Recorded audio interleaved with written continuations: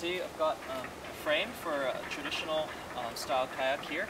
These kayaks were, this style of construction was used in um, Alaska um, all the way through to Siberia and um, they were used for many thousands of years um, and coated with skin. You can see these kayaks are very light and extremely durable. This one here weighs 24 pounds and is so strong that I can jump on it and jump off without any trouble. Um, these are probably some of the most seaworthy kayaks out there. They're much stronger than fiberglass kayaks. Um, and I put my life in them all the time.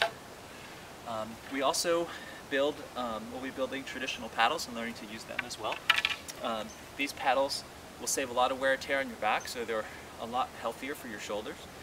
Um, and these really, even with, even if you start with no woodworking skills, these boats can be built um, really well and you'll learn a lot in the process.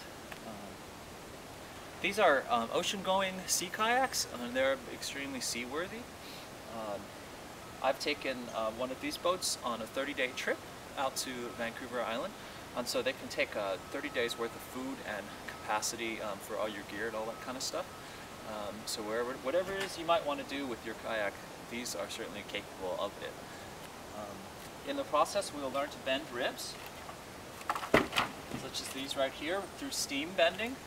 Um, we'll learn complicated joints like this um, mortise and tenon joint right here. Um, and we'll lash things together. There's no metal anywhere in this boat. The boat is entirely joint, pegged and lashed together. So um, it's uh, amazing how much uh, an old style of construction is still uh, comparable to all the magnificent materials and things that we have today. Um, the boats that we'll be building will be coated and skinned with uh, uh, nylon, um, the special kind of nylon that was once used in uh, bulletproof vests, but today um, we use it on our boats and it's a really amazing lightweight material so these boats can withstand a lot.